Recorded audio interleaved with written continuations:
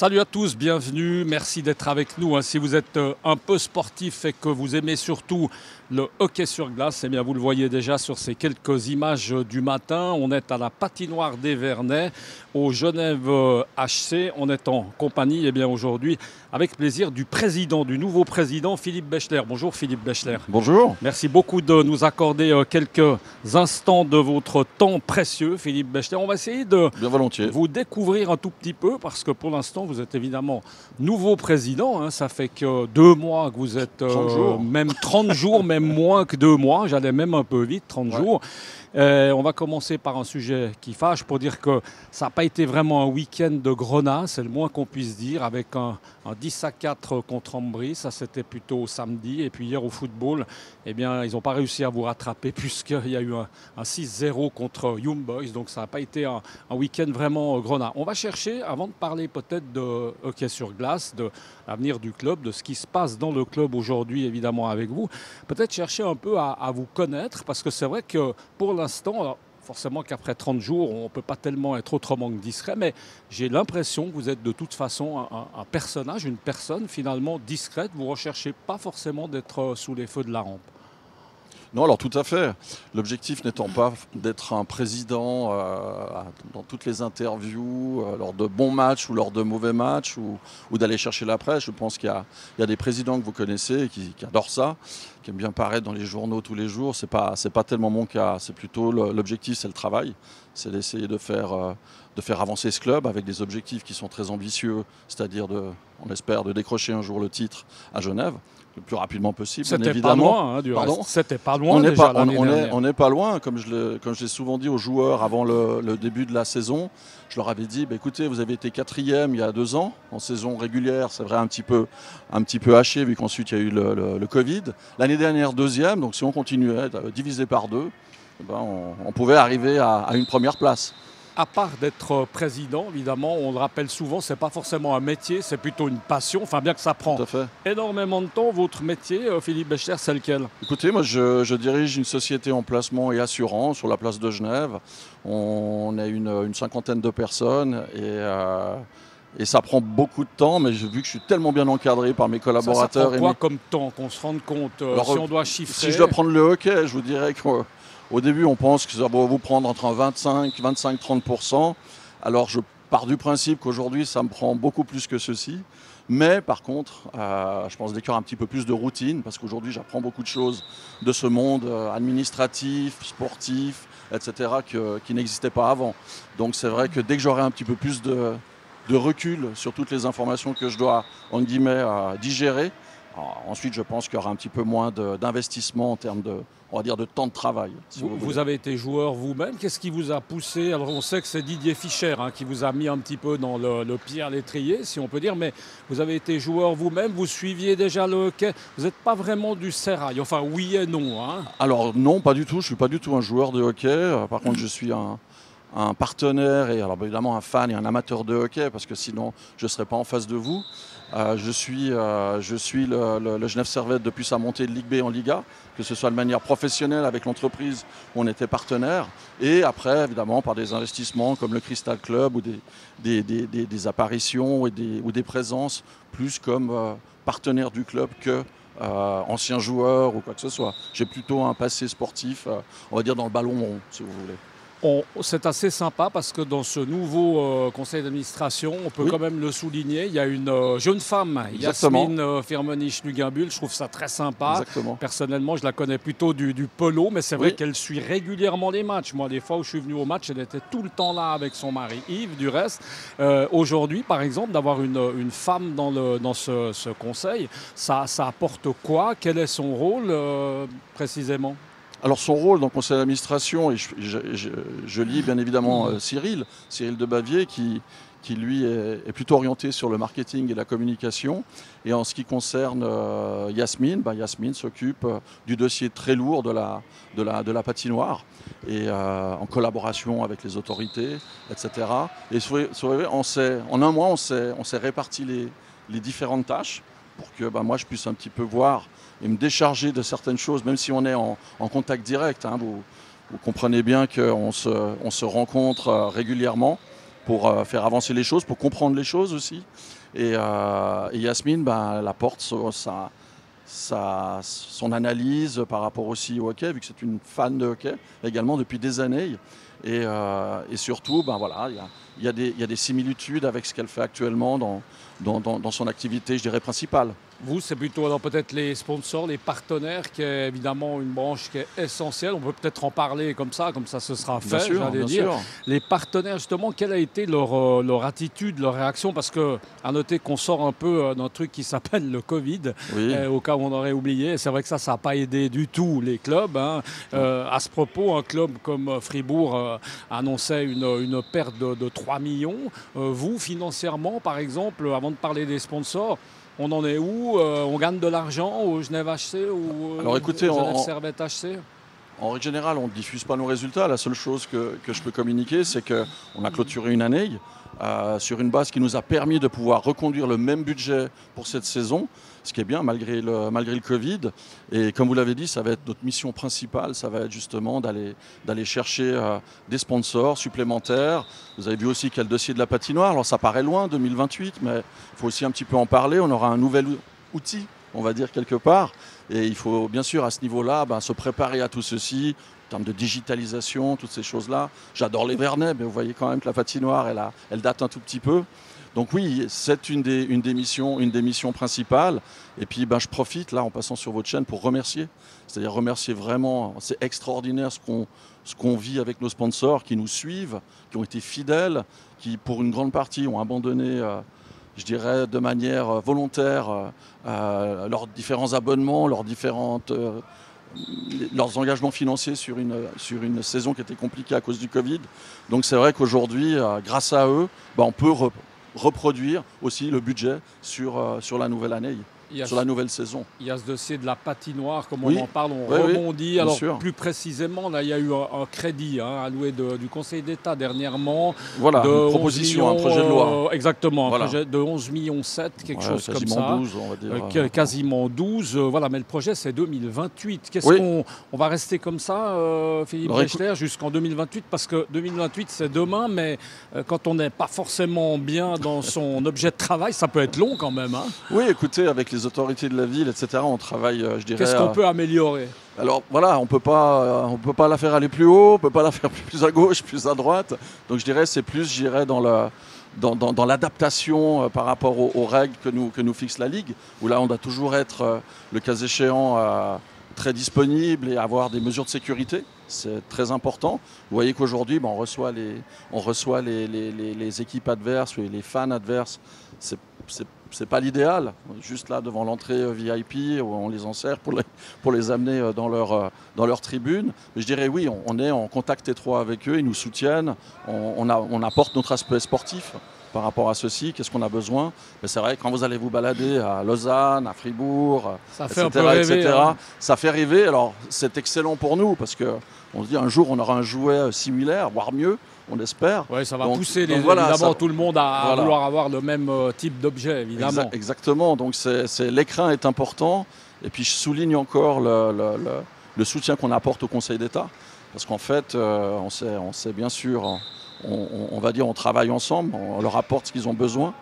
Mais aujourd'hui, c'est vrai que de la glace, aujourd'hui, à Genève, c'est compliqué votre gamin euh, veut faire du hockey, ben, il devra s'entraîner à 6h du matin ou à 23h30 Ça ne touche pas que la première équipe, hein, on est bien d'accord. Hein, ça touche un ensemble de gens, il y a des jeunes ben, Il y aura la disposition, hein, vous aurez la, la, disponibilité des Vernets par la suite, les deux patinoires si on peut avoir, parce que l'idée c'est d'en faire une principale puis une annexe pour justement les juniors pour qu'on essaie de retrouver un petit peu ce que vous avez en Suisse, c'est-à-dire une patinoire pour 40 000 personnes, alors qu'aujourd'hui on a une patinoire pour 80 000.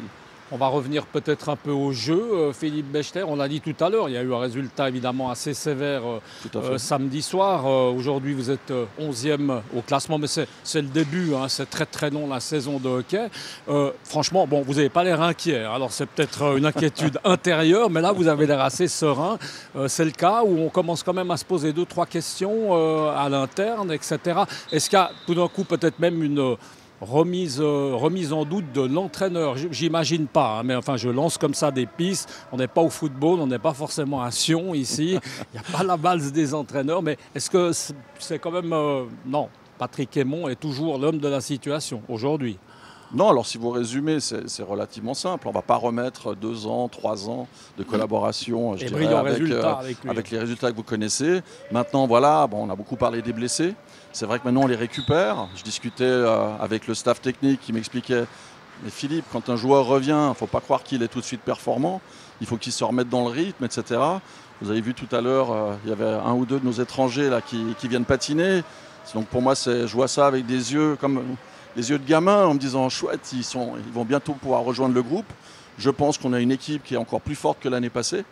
Maintenant, voilà, on fait un début de saison compliqué. Euh, on a pu se renforcer récemment avec, euh, avec le travail de Marc et de Pat sur, euh, sur le joueur que vous avez certainement vu vendredi et samedi, qui est une perle pour nous. Mais voilà, ça va prendre un petit peu de temps. On est à 9 matchs, on a 52. Euh, on est patient, donc la confiance dans le staff est toujours de, mise. On ne va pas tout changer euh, parce qu'on gagne, parce qu'on perd, etc. Et j'espère que d'ici un mois, on peut refaire un interview et je vous répondrai, voyez, ça, a tourné. Donc oui, on, est, on, est, on prend acte de la situation, on discute euh, beaucoup avec Marc et avec Pat, mais aujourd'hui, il n'y a, pas, a pas, comme on pourrait de temps en temps l'entendre, de situation de crise. Alors Phil Poula, le, Finlandais, hein, avec euh, Vatanen, qui a plutôt un, nom de, coureur de rallye, mais les Vatanen, évidemment, en Finlande, on imagine, c'est comme les Dupont ici. Hein. Euh, c'est vrai, c'est quand même deux joueurs euh, de, NHL.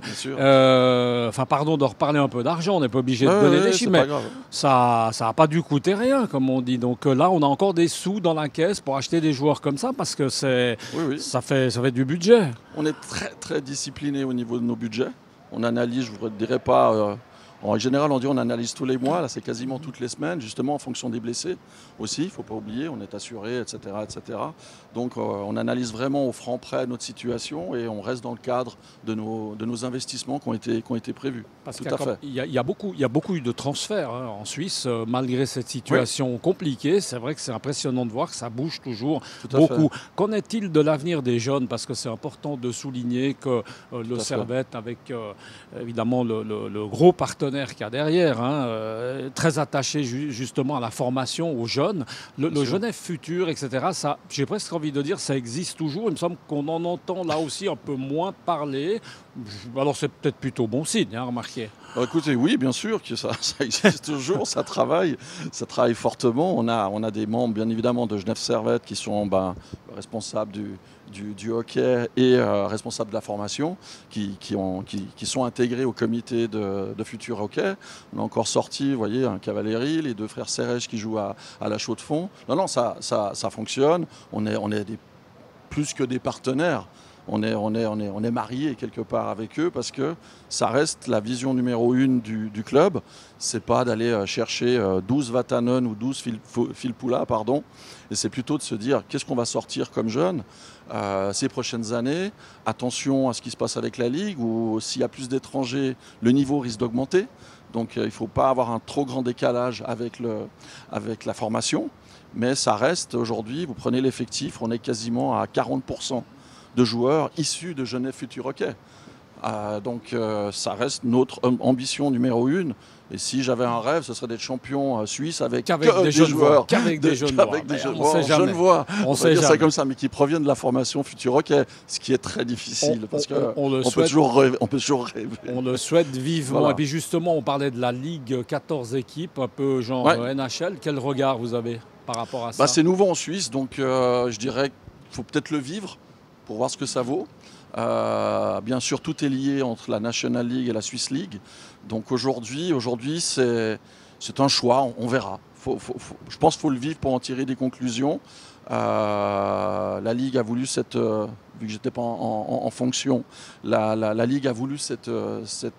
nouvelle, franchise à, 14 équipes. Donc on verra. C'est vrai que vous prenez Cloton, prenez la Chaux de Fonds, il y a pas mal de clubs en Swiss League qui seraient intéressés à rejoindre la National League.